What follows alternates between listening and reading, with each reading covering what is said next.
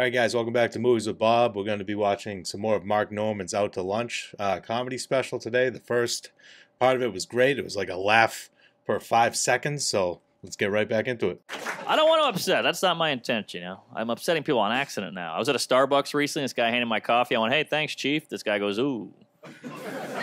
don't say Chief. It's offensive to Native Americans. I was like, "How is that offensive?" He goes, "Whoa, don't say how." Come on. How'd we get here? Weird times, weird times. True. Taking words away, you know, I get it. You know, words hurt people, I get it, you know. But here's the thing we're kind of in like a weird word prohibition. Can't say this, can't say that. That's why I feel like every now and then we should all go to a politically incorrect speakeasy. Just somewhere we can all go to say horrible stuff and nobody cares. You got no hate in your heart. You don't want to hurt anybody. But if you can't say it there, give us a place you can. Right? You go down some creaky stairs, you bang on a big steel door. The guy's like, What's the password? Retarded. Get in here! All right. It's like the 90s again, you know? Because Huh. offensive words, they're like alcohol. Sure, you can abuse it. Sure, you can hurt people. If you do it responsibly, it's a good time, yeah? Right. Just don't do it at work. Don't do it around kids, but go home, close the door, take the edge off. Ah, midget. right? I don't want to say little people. That's like drinking in O'Doul's. but of course, I get it. I just, you know, find it funny. I get it. But here's the problem: we forget that no one's politically correct up here. We're all animals, and we're all trying to. We're all seeing the same thing. We're all thinking the same thing. No one's PC in their brain. That's just a filter you put on when you talk, so you seem nice. Like no one sees a hot girl bend over and thinks, "Look at that independent woman. I'd like to treat her equally." no, we're sick, men and women. We're gross. But look where it's all gotten us. Doesn't it feel like the whole country's pent up? Feels everybody's angry right now. We got white supremacists, protests, hate groups. It's weird you're allowed to be hateful in America as long as you're not specific. Isn't that weird? If you're like, I hate Mexican people, everybody's like, oh my God, what a bigot, prejudice. But if you're like, I hate people, everybody's like, huh, fucking right. Isn't that worse? People are angry now, man. I had one of those uh, White Lives Matter rallies go by my house the other day. I freaked out. Then I realized, oh, it's just a half marathon. that was close. I don't know. Just be a good person. What about that? Just be nice to people, you know? Yeah. Like, uh, a lot of it doesn't add up. I can't keep track of all the rules. Like transgender, what do you think? That's how I feel. I don't give a shit. You, know? You want to go for a man, a woman? Go nuts. Well, go labia. What's the beef? Look, it's weird to hate someone because they're trans, right? But it's also weird to love someone because they're trans. Shouldn't you like them based on who they are as a person, content of the character? People are so phony. I love Caitlyn Jenner. Why? She sucks. She's against gay marriage or ran over a person. What's the good part? and they So go, well, true. they have hard lives. All right, well, so do midgets. Why don't you talk about how much you like them? Where's that hashtag? I don't see any tweets about midgets. Who's got a hard on a midget? Hard to get around, hard to drive, hard to get work? No love. And look, I'm not anti trans, but I am pro midge. I just don't get why we help one group and not another. It's just kind of trendy. And people say, well, trans aren't allowed everywhere. Well, you ever been to a roller coaster? Oh. At least trans we accommodate with the bathrooms. Midgets, you ever seen how tall a toilet is? What? Imagine having to jump to take a dump. Weird. No help, no support. And you know what's great about midgets? I got a couple midget friends. They're good eggs. You never see a midget complaining. Never. Every other group complains. Never a midget. Never see it on the news, sitting at a desk, legs dangling, little fish egg. Never. Every other group complains. I see women on the news. We have a glass ceiling. Midgets are like, you're worried about the ceiling? Holy shit. I'm trying to fuck with this counter, baby. Interesting. See, I guess I'm too open minded because I support all transition, not just sexual. Why do we stop at sexual? I support transition of personality, transition of uh, opinion. Right? Like Kevin Hart. Kevin Hart got in trouble with some offensive tweets from years ago. Was I'm not the same guy I was from years ago. I've transitioned. I used to have sex with 16 year olds when I was 16. Jesus. Now I don't. I'm different. Well, years ago he said some offensive stuff. Well, years ago she won the men's relay. People change. Why do you support that and not that? Huh. It just tells me if I ever get into trouble now, I'm just going to get a sex change because you got to kiss my ass. Hey, Mark, we heard that interview from 10 years ago. that was Mark. I'm Margaret. I don't know. I support Kevin Hart also because he's a midget. oh, there we go. But I don't know. Everything's weird now. You know, the news is insane. The internet's full of hate. I feel like it's the little things that keep you happy now. You got to cherish the little things. I got a Snapple today. I love a good Snapple. I love that fun fact under the cap. it was a good one today. It said uh, polar bears used to be brown, but through evolution they turned white because police were shooting them. I know. I couldn't believe they fit all that under the cap. yeah. Ah, yes. A lot of racial talk now. White privilege. That's a term you hear a lot now. White privilege. But I thought it was all about diversity. So shouldn't we talk about everybody's privileges? Why are we just limiting it to whitey? Let's spread the love. Let's make every group feel good. Everybody's got something. Tall people, privilege, see at a concert. Jews, no hell. pretty good, pretty good.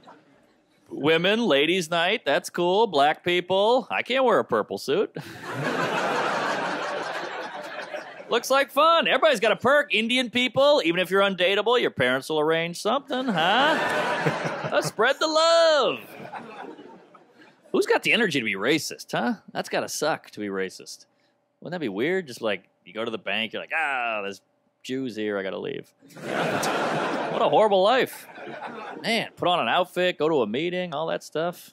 I don't care about any group enough to hate it. Do whatever, whatever you want. Go nuts. I don't I don't want to do anything. I'm lazy. I don't want to burn a cross or a calorie. Yeah. Everybody's worked up about something. Oh, these there's Muslims on airplanes. Well, I'd rather a Muslim on a plane than a baby. Never had a Muslim point. kick the back of my seat and piss in the aisle. I'm just saying, if the airport had a baby ban, I wouldn't protest. yeah, but transgender, they're using the bathrooms. Well, they're still using the toilet, right? They're not leaving a hot floater in the sink. That was like their thing, then yeah, we should totally have a meeting. That's crazy, you know? Then you get the hillbilly guy. Well, what if one of these perverts puts on a dress and looks at my wife in the bathroom? Ooh, what a score. Some guy can see your toothless wife shitting? Yeah. what a lucky guy. Come on, go to work, you lunatic.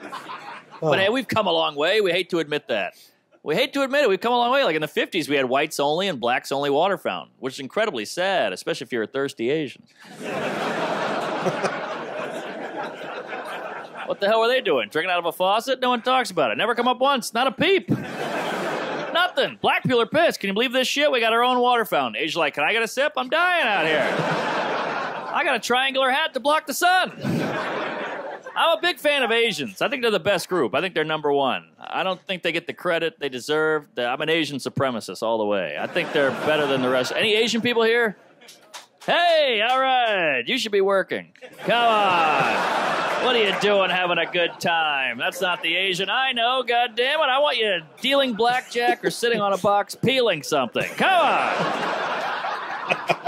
Big fan. Best group. Easily the best group. No love. You guys get the short end of the chopstick. It's pretty unfair. Jesus. So quiet, so secure Asians. Every other group's got a brag and boast. Every group's got a slogan. Black people, I'm black and I'm proud. White people, white power. Hispanics, ay, ay, ay, ay. Not an Asian. Asian just head down, grades up. That's it. Are the best. You never hear about Asian crime. Never. If I was an Asian guy, I would just start mugging people and be like, hey, it's my word against yours. Big fan. Big fan. Oh, yeah. I think the news is a problem. The news pins us all against each other. News makes it seem like all white people are scared of minorities. I don't think all white people are scared of minorities. I do think a lot of white people are scared of looking racist. That's really the big fear with whitey. Like if I'm walking down the street at four in the morning, I see a sketchy looking white guy coming towards me, I'm like, crap, I'm gonna cross the street. If I'm walking down the street at four in the morning, I see a sketchy looking black guy coming towards me, I'm like, crap, I wish I could cross the street. Right? I'd rather get stabbed, look like an asshole. White people, we are so worried about looking ignorant and bigoted. I guess because of our history. Like, I, I went skiing recently with my friend. We're sitting on the ski lift. I was like, why don't you see more black people skiing? Why is that? My friend has no idea, but he's gonna, you know, half-ass his way through it because he doesn't want to seem dumb. So he's like, ah, you know, they don't grow up with it. Like, well, I'm from Louisiana. I'm here. Well, ski is very expensive. Ah, right, right, right. Yeah, yeah. You know, I've never seen a black guy with anything expensive on their feet. Just say you don't know. It's all right. You sound way worse. That's why black people are smart. White people, we do crazy stuff. We swim with sharks. We go bungee jumping, cliff diving. Ask a black guy, why do they do that? They go, I don't know. That's white people shit. That's a good answer. They don't sit around going, well, you know, Europe. yeah, I don't know. But look, yeah, I'm a white guy. If I talk about race now, for some reason another white person ebly calls me racist. That's like what we do. It's like I know you're trying to seem like a hero, but you're gonna ruin that word. You're gonna take the teeth out of it. It's like an important word. You're gonna ruin it. Like I was on the subway recently. I was watching interracial couple make out. I was just staring at them. and the guy next to them caught me and he goes, What the hell? I see you staring at them. What are you, racist? I was like, What? Racist? No, I'm a creep. well, what are you talking about? I'm hard. I'm not a racist. I'm aroused. It's an important word. People abuse it all the time. A friend of mine, she's Puerto Rican. We grew up together. She's like, I hate going to the gym. The white women there all give me the stink eye because they're racist. I was like, damn, what happened? She's like, well, first bring my food in and I eat it. Then I play my music really loud. I'm like, oh, maybe they just hate you. Let's not lump together all of Puerto Rico because you're being a twat. You're being inconsiderate and rude. Take a little ownership. Look within. You can't blame everything on bigotry. Look, I grew up in a black neighborhood. I was a bedwetter. I'd sleep at their houses. Eventually, they stopped inviting me over. I was like, ah, they hate white people. No, I ruined their fucking furniture. they didn't hate white. They hated yellow. Sorry. Wow. Mm. Aha. Uh-huh. Yeah. I like all the groups. I just make jokes, you know? Remember jokes? Yeah.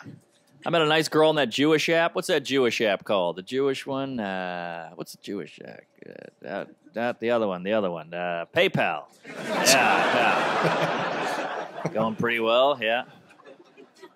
A lot of ladies here tonight. That's exciting. I feel like this is like your time, ladies. This is like the year of the woman, you know? I went to the Women's March in Manhattan. That was cool. Although I got to say, I haven't heard the word pussy yelled that much since that time I rollerbladed to high school. That was a tough morning. Yeah.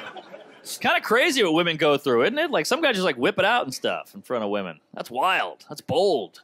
See, I have a penis, so I'm not that scared of new ones. But I guess if you don't have a penis, a new one's got to be pretty scary. The closest I can get to that feeling is once I was hanging out with a friend and he just took out a gun. I was like, Jeez. "What the hell are you doing?" He's like, "Well, you know I had a gun." I'm like, "Yeah, but we're at Whole Foods."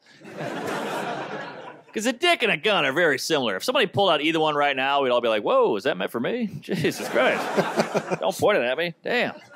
Dick and a gun, very similar. Both pointy. They shoot things. They come in different sizes. You can get a pistol or a shotgun. I'm circumcised, so I'm sawed off. but I guess guys who do that just get confused. Because ladies, sometimes you like a penis. So guys think, hey, she liked one last night. Why wouldn't she like one with a copy machine? Women are so complex. Because I think, generally speaking, when it comes to sex, I think men are a little more constant. You know, men like boobs, but we like boobs across the board. Boob in the bedroom, great. Boob on the bus, also great. Okay. Dick in the bedroom, great. Dick on the bus, call the police. Nobody's calling the police on a boob. You see a boob out in the wild, it's like seeing a deer. You're like, shh. It's majestic. Look, there's two now. then your other friend walks up. Hey, look at that, a boob. You're like, ah, you spooked it. Come on. Yeah. We're cracking down on sexual harassment finally. That's good. You know, gets sexually harassed more than women. The one group, pets. Yeah. Nobody ever gets consent from a dog. Nobody. People just pick it up, kiss it on the face, rub its belly, do that weird, creepy, long pet where you grab the tail at the end. We're creepy as hell with dogs. And we sound like creeps. They like it. They're begging me for it. Yeah. Thank God dogs can't talk. We'd all go to jail, right? Just some chihuahua in a courtroom, like, first he flipped me over.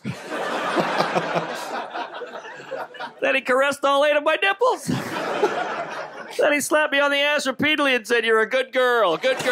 Oh, God. We harass dogs all day long, and they're perfect harassers. They can't talk, so they'll never report you. That's why they're man's best friend. also, dogs forget stuff after like two seconds. You could stick your finger up a dog's ass and be like, Well, that was weird. Frisbee! Because really, when you break down our relationship with dogs, dogs are shameless, shameless whores, aren't they? I mean, they're like gold diggers. Look at the deal we've cut with a dog. Like, all right, Pooch, I will house you and feed you, but I get to touch you whenever I want. Dog's like, what are you kidding? That's fucking amazing. I'll do you one better. When you come home, I'll hump your leg. I'll lick my balls in front of you. And when you have sex, I'll watch. That's fair. And cats, cats are the exact opposite. Cats are like sexual assault victims. They're all nervous, skittish, head on a swivel. Huh? You touch me, I'll fucking cut you. I'll cut you, motherfucker. Yeah, yeah, you're not grabbing this pussy, all right? Yeah. Now leave me alone. I gotta look out a window for an hour. But hey, you gotta listen to ladies, fellas. You gotta listen, you know. friend of mine, she's like a big feminist. She's like, ah, I have a full bush because that's how I was born. I was like, holy hell, you were born with a full bush? that is a terrifying baby. Cut the umbilical cord. I can't find it. I like a strong woman. I want a woman to catcall me. Catcall us, ladies. That'd be hilarious. Start yelling out stuff at men that we don't want to hear. Stuff that would scare a guy. Now you walk past a group of girls at night. Of them's like, "Hey, I'll tell you I love you on the first date." You're like, "Jesus Christ, holy hell, that is terrifying." Yeah, get us back. And then you walk past a girl. She's like, "Hey, before we have sex, I'm gonna poke a hole in the condom." This is a horrible neighborhood. My God. Start the car. Oh, you ladies are fascinating. So complex. Yeah. One time, me and my girl were watching the news. There was a whole thing about a CEO harassing his employees. She's like, Can you believe this creep? Grabbing women's asses, whispering dirty stuff in their ear at work. I was like, Yeah, it's crazy. Then we got home later in the bedroom. She's like, Can you do that stuff from the news to me? I was like, I thought you hated that. She's like, I hate it. He does it. If you do it, it's hot. Huh. So you hate harassment unless you like the guy, then it turns you on. That's fascinating. I don't think other groups like black guys get harassed by the cops, but at night they're not like, come on, pull me over. Yeah. yeah, tase me, bitch. Yeah. Interesting.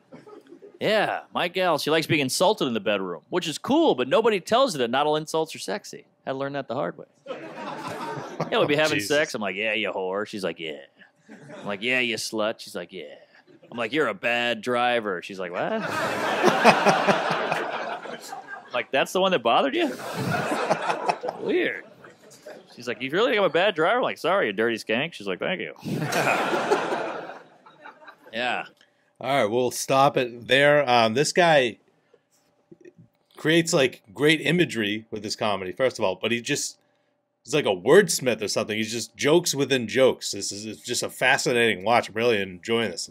Excited to finish it up. We got 20 minutes left of it. We'll have uh, part three coming up this week. We got more of uh, the Ricky Gervais show, An Idiot Abroad, uh, out of England coming up too. Out of England part two uh, reaction coming up. So subscribe if you haven't.